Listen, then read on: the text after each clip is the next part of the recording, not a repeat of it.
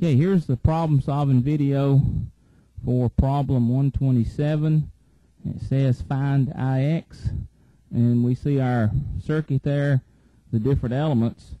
And the, the way we'll approach this problem is we know that for a circuit, the power supplied has to equal the power absorbed.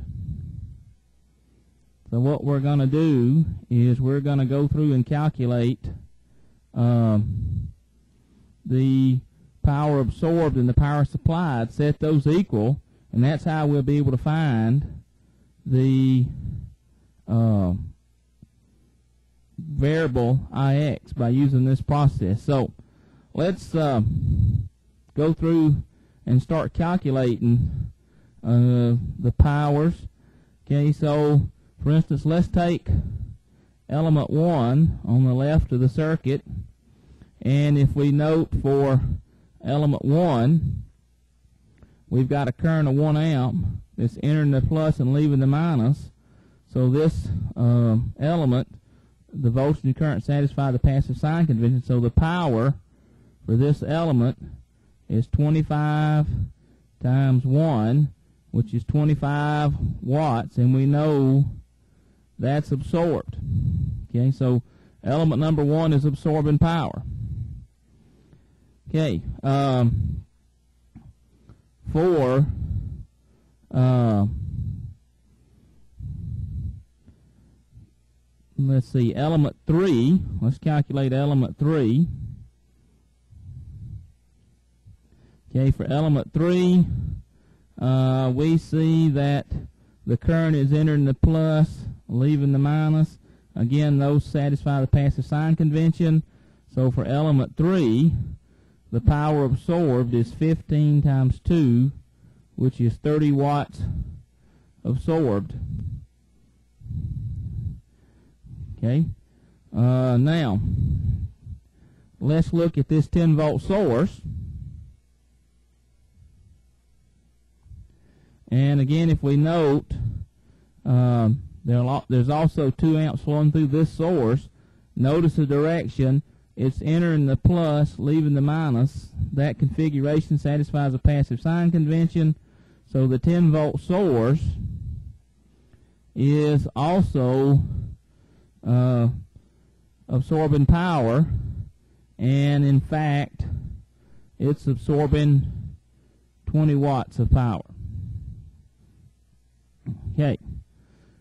Now, let's go to the current source. Uh, if we look at this current source, we see the voltage across it. We see the current. Notice the current is coming out of the plus. It's moving this way, so it's leaving the plus, enters at the minus. So this source is actually going to be supplying power because that's the opposite, the passive sign convention. So P is equal to 25 times 5 which is 125 watts supplied. Okay? So we've got element 1, element 3, and the 10 volt source absorbing power. The 5 amp source is supplying power. Now, let's look at these two elements, the current source IX and element 2. Uh, so for element 2,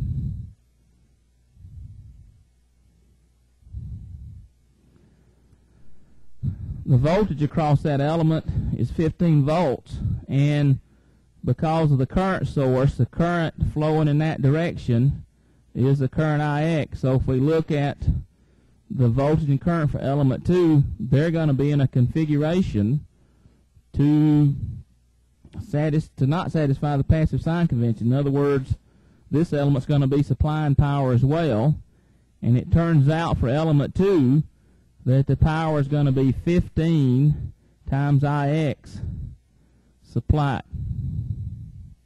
Okay, so element 2 is supplying a power of 15 Ix. We have a voltage of 15, we have Ix leaving the plus. So that's the power supplied by that element. Our last element is our current source with our unknown Ix. Notice now, just like this current source, the current's going to be flowing out of the positive terminal for the voltage. It's going to come in the negative, flow out the positive, so that uh, IX source is also going to be supplying power. And in fact, the power supplied by it is going to be 10 times IX.